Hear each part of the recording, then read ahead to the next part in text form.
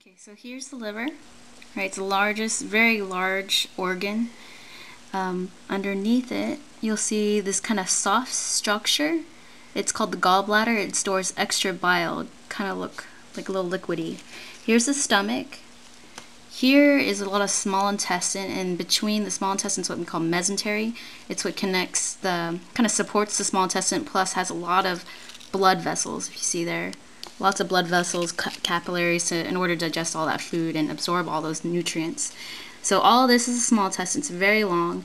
When you get to a thicker tract, this is a large intestine. And this is where water is absorbed and your feces are starting to get created. If you move the small intestine carefully, you'll see down here, this right here is the rectum. Right, it'd be connected right to the large intestine. This is where feces would come out towards the anus, which is down here. There you go.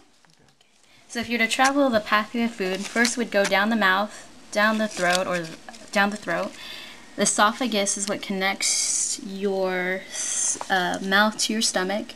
If you notice this big structure here, this is the trachea, the windpipe, and right next to it, parallel to it, is your esophagus. And if you were to follow your esophagus, and if the heart wasn't there, you'd see it, it would connect all the way behind your heart, down to your liver, right to your stomach.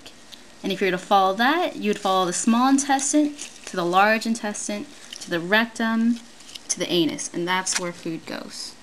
So pull out a piece, pull out a piece of small intestine, and you see that mesentery? Cut just very gently, don't cut yourself.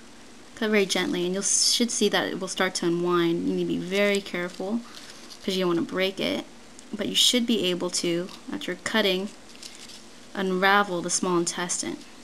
You need to cut that mesentery though, all those blood vessels that's connecting the small intestine to the blood or circulatory system. There you go. Kidneys, this helps filter blood.